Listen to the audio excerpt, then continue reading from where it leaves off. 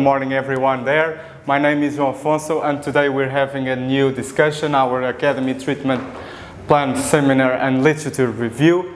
And keep in mind that you can watch us every Tuesday at half past eight or a quarter to nine. You can watch here uh, our academy at Avenida da Liberdade, or we can, you can be with us through our social, social media Instagram page. So, today's topic is about titanium versus zirconia versus temporary anchorage devices osseointegration. And it's a crucial topic for us to talk about because it's important for us to understand this property and to see how it works in different types of implant, implants. And so this debate, as I told you, it's crucial because uh, you know every department from all the clinics around the world they must be familiar with this topic because not only the oral surgery department but also the prosto, the pediatrics, the orthodontics, they must understand the behavior of this type of uh, treatment. This is us, this is our International Academy, uh, the International Advanced Dentistry, but also in other clinics we should pay attention to this specific uh, topic. I always like to begin with a small introduction and to tell a little bit about the history of implant dentistry because it's that way that we are able to understand why certain products appeared uh, in the nowadays.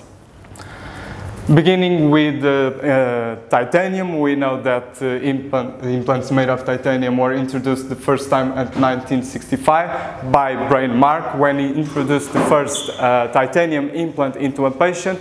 And what happened is that since then, uh, titanium has been the product, the material that it's been mostly used. So we know there are four main types of dental implants, but the one that we use the most is endosseous, and this type of implant has great properties, such as, for example, the low density and the low degree of thermal expansion. Basically, you know, we know that titanium itself is a very active element, resulting in a low standard electrolyte potential.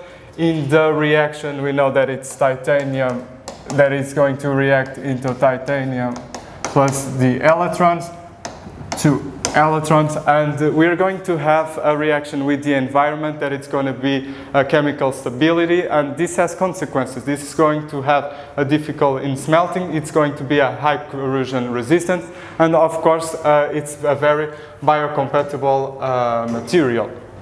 But what happened is that uh, patients began to have more demands. Patients began to have more aesthetic demands. And if you think about titanium implants, they always have that gray color. And teeth are not white, are not, are white. Are so it's totally different. And another thing is that there's the demand for metal-free devices. And that's why ceramic implantology uh, started to emerge in the market. We first had the oxide alumina implants, but they were removed from the market because they had very low chemical and physical properties. And then the oxide zirconia appeared at the 90s, and there are two uh, most common forms that we have, yttria stabilized tetragonal zirconia or alumina stabilized tetragonal zirconia, and they have promising physical and chemical properties such as high fracture toughness, low elasticity model, for example, and wear and corrosion resistance.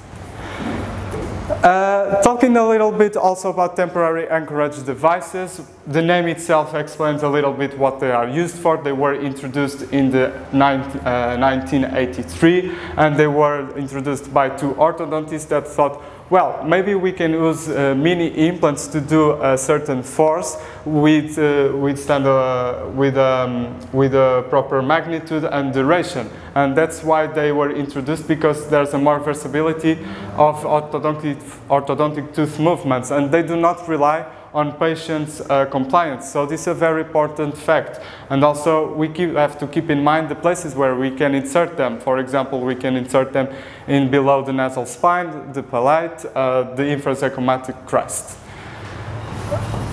And uh, when we are talking about implant dentistry, we need to understand uh, two main topics, which are the bio biology and the biomechanics. When we are talking about biology, we need to understand the interaction between uh, the hard tissues and the implants, so we are talking about osseointegration, but we also need to understand the uh, behavior with soft tissue, so with the stable attachment that it's with the surrounding tissues. But we also need to see the biomechanics, so of course, we need to see the resistance of shearing loads. Here I'm talking about titanium implants and zirconia implants. Uh, but also the micro screws that we are going to place in our patients, they are, uh, they are going to have loads also. And we have to see the microscopic features. Here I'm talking about the diameter, the geometry of the implant, and so on. The first topic also that I would like to discuss with you is about the surface treatment because this is this property, this modification that it's going to be done to the implant is going to optimize the bone implant contact by increasing the contact between the implant and bone cells. So it's crucial because one, it's one of the most critical factors for uh, achieving successful and long-term uh, osseointegration. And the first article that I bring to you, it's a review about the modifications in zirconia, but doesn't, all, uh, doesn't just talk about zirconia itself, it, talk, it does a comparison between uh, ceramic implants and also titanium implants. And as you can see here in this picture, there are many types of modifications that can be done. The machine, the acid etching that is often used with sandblasted coatings. But what this review tells us, I'm going to tell some uh, bullet points, uh, of the conclusion is that machine zirconia has a, a, similar bone implant contact and even it's a bit higher than machine titanium implants. And in vitro and in vivo studies they show that machine and acid etched zirconia decrease the adhesion of bacteria when compared to titanium. So this is regarding the the topic that I told about the biology. It's about comprehending the, the, inter, the the relationship between the soft tissue and the implant. But we do need further studies to understand exactly how these implants are going to work uh, in long period time. Now talking a little bit about hard tissue, uh, we know that uh, the um, other metals uh, and uh, ceramic, they do also osseointegrate, not only titanium integrates. So the clinical success is characterized by this new bone formation and remodelation. And uh, first, I'm going to talk about specifically titanium and zirconia, and then I'm going to talk about the microscrews because it's easier to understand. And what we see from the evidence nowadays is that some retrospective studies at five and seven years, they conclude that the, there is healthy peri-implant tissues uh, around the zirconia implants. And that when we have loaded the implants after one and two years of functional loading, uh, the bone remodeling is very similar to the titanium implants. It's, it's interesting because Tal in 2020, he did a finite element analysis, which is basically a three-dimensional computer program that is applied to understand the biomechanics uh, with, uh, of the bone implant interface and it's going to study uh, the distribution of crestal bone stress. So he did three types of models and the three conclusions that he had, it's that there is better distribution of peri-implant tension around zirconia uh, implants. There's a less uh, there's a lower stress transmission. And in terms of facts, in terms of, of, our clinic perspective, it means that there's a reduced peri-implant bone reabsorption that it's mechanically induced. So these are facts that we have to keep in mind. Uh, I bring to you uh, the other review that I put in the bio, bio bibliography. It's zirconia versus titanium. And there are some topics that I would like to tell you about. That's the first one, there's not a statistical difference among bone implant contact of the different implants. There's no difference in osseointegration between acid-etched zirconia and the titanium implants. Uh, so actually everything is well balanced between these two types of implants. Uh, here we have a phrase that says although uh, titanium shows superior osseointegration property than zirconia, it's almost the same. And then we're going to talk a little bit also about temporary anchorage devices, or we can call them micro screws, we can call them micro implants. And as I told you, I gave you a few examples of the places where we can insert them. In terms of location, we have subperiosteal, transosseous, and endosseous. But keep in mind that when fixed to the bone, it can be either mechanically, so we're talking about cortically stabilized, or biochemically, biochemically, so osseointegrated. And their success rate is ranged from 79% till 98%. But keep in mind that this success rate was not significantly correlated with cortical bone density. So uh, another topic that I would like to discuss is about immediate loading of these types of implants. After our live session, we are going to discuss a little bit about this uh, with the people that are presentially here at the clinic. But I always had the doubt, if they are mini screws, if their name is mini implants, should we load them? And what this uh, review tells us is that immediate loading doesn't affect osseointegration, but we have to keep in mind that when we are uh, in thin cortical bone, there might occur a little extrusion and tipping of the micro implant. It also tells us that there's no statistically, statistically differences between uh, the unloaded and loaded micro implants in terms of osseointegration. Uh, to keep in mind when we are using these uh, small diameters of 1.2 and 1.3 millimeters made from titanium alloy, they are strong enough for immediate loading, even in uh, thin cortical bone areas. But what this review suggests is that we use a, uh, we do a drilling, uh, we drill a pilot hole to reduce the, prob the probability of breakage of the micro implant. The other topic that I would like to discuss today, uh, it's important that all the departments understand this, is that there's a difference between success rate and the survival rate. And it's important because every day when we are reading uh, articles, they always refer to this. But they are very different from each other.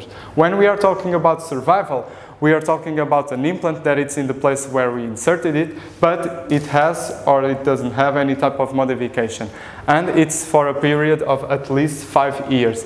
When we are talking about success, it's totally different. We are based on three things. We are based on functional aspects. Here we are talking about chewing, we're talking about speaking if the uh, implant behaves in a proper way or physiological aspects. For example, we are talking about osseointegration, we are talking about uh, the relationship with the soft tissues, and we are also talking about psychological aspects. So we are talking about if the person had a good experience, if the person enjoys the aesthetics of the implant. So uh, this is very important and of course that survival rate doesn't talk about this. And in terms of success, it cannot be shown any local or systematic allergy or any type of negative reaction. And uh, we see also the changes in the margin bone level.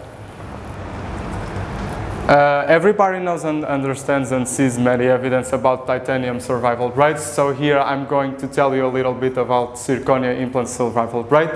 Pieralli in 2017 had a survival rate of 95%. And there's an interesting study by Stefan Roehling in 2018 that he compared non-commercialized uh, ceramic implants with commercialized uh, ceramic implants. But what we can see is that there's a big difference of a little bit more than 20%, so 71, and then the commercialized one have 93%. So this means that uh, we are getting to values that are uh, much more, uh, are almost the same as the titanium ones. Balmer had a percentage in 20, uh, 20 to, 2020 of 98%. But we do uh, need more high level of evidence clinical and we need to confirm this uh, in long-term predictability.